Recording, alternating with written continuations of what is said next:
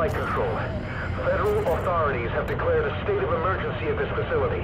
We're rerouting all civilian traffic to alternative locations. Priority access granted. Hope you can help out, Commander.